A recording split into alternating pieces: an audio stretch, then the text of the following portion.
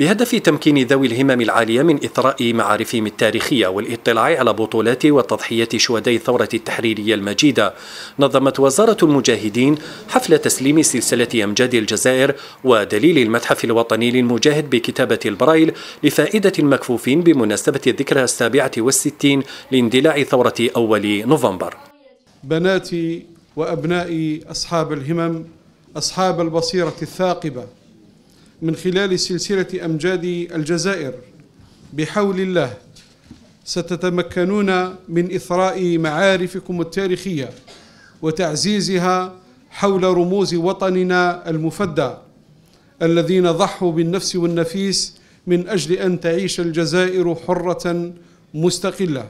ومن جهة أخرى ستكتشفون من خلال, من خلال دليل المتحف الوطني للمجاهد جوانب عما يحتويه من معروضات مرتبطة بتاريخ المقاومة الشعبية والحركة الوطنية وثورة التحرير المباركة.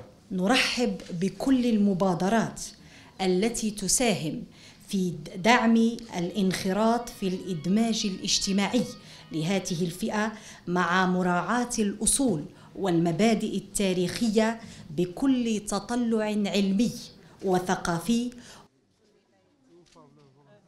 أصحاب التحديات البصرية بدورهم استحسنوا هذه المبادرة التي ستمكنهم من تحصيل المعلومات الخاصة بالرموز التاريخية واكتشاف جوانب عن ما يحتويه المتحف الوطني للمجاهد. بالنسبة لشعوري فأفتخر. وهذا كانوا فرنا البراي اللي ساعدنا على اكتساب ثقافة عامة حول التاريخ الجزائري وهذا مشرف.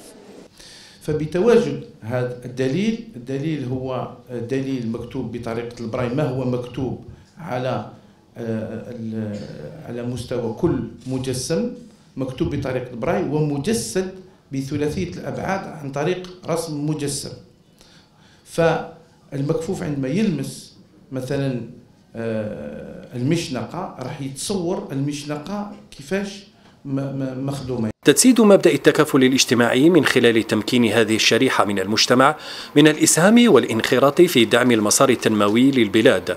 تبقى ضمن استراتيجية الدولة الجزائرية التي ترى في أصحاب الهمم العالية قوة فاعلة لبناء الجزائر الجديدة.